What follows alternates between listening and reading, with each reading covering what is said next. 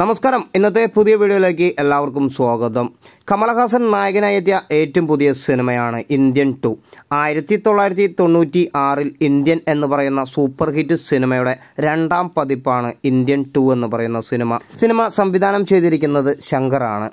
തമിഴ് സിനിമകൾ വളരെ വ്യത്യസ്തമായ രീതിയിൽ എടുക്കുന്ന ഒരു പ്രത്യേക സംവിധായകനാണ് ശങ്കർ. തമിഴിലെ സൂപ്പർ സ്റ്റാറുകളെ വെച്ച് ഒരുപാട് സിനിമകളെടുത്ത് വിജയിപ്പിച്ചിട്ടുള്ള സംവിധായകനാണ് ശങ്കർ. ഒന്ന് രണ്ട് മൂന്ന് സിനിമകൾ മാത്രമേ അദ്ദേഹത്തിന്റെ ഫ്ലോപ്പ് എന്ന രീതിയിൽ പോയിട്ടുള്ളൂ.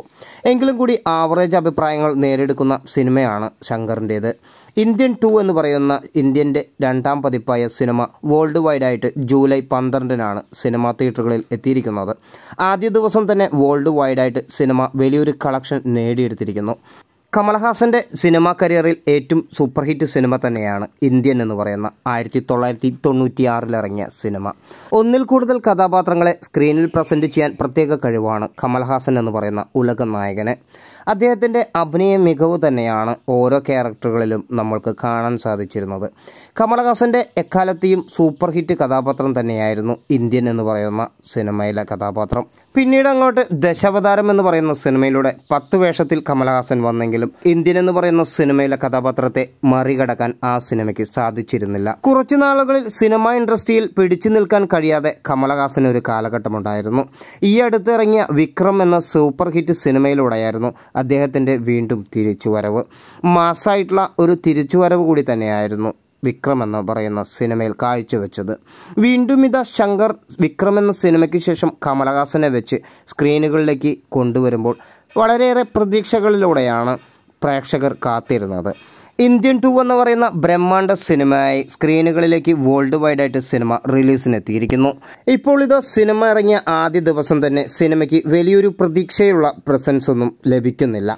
ഇന്ത്യൻ ഫസ്റ്റ് എന്ന സിനിമയുടെ ബ്രാൻഡിനെ എടുത്തു കളയുന്ന രീതിയിലാണ് ഇന്ത്യൻ ടു എന്ന് പറയുന്ന സിനിമ സ്ക്രീനുകളിൽ വന്നിരിക്കുന്നത്. ആദ്യ ദിവസം തന്നെ സിനിമയ്ക്ക് വേണ്ട രീതിയിലുള്ള റെസ്പോൺസ് ലഭിക്കുന്നില്ല. അതുകൊണ്ട് തന്നെ കമലഹാസൻ സിനിമയ്ക്ക് കൂടുതൽ എക്സ്ട്രാ ഷോസുകളൊന്നും ആഡ് ചെയ്യപ്പെട്ട് കാണുന്നില്ല. ഇന്ത്യൻ ടു എന്ന് പറയുന്ന സിനിമയിൽ വന്നിട്ടുള്ള പോരായ്മ സിനിമയുടെ കഥ തന്നെയാണ്. സിനിമ കണ്ടിറങ്ങുന്ന എല്ലാ പ്രേക്ഷകർക്കും സിനിമ അത്രമാത്രം കണക്റ്റ് ആയിട്ടില്ല. തമിഴ്നാട്ടിൽ നിന്നും ഫ്ലോപ്പ് എന്ന അഭിപ്രായത്തിലൂടെയാണ് സിനിമയുടെ കളക്ഷനുകൾ ഇപ്പോൾ പുറത്തു വരുന്നത് ഒരുപാട് ട്രോളുകൾ നിറഞ്ഞ സിനിമയായി മാറിയിരിക്കുകയാണ് ഇന്ത്യൻ ടു.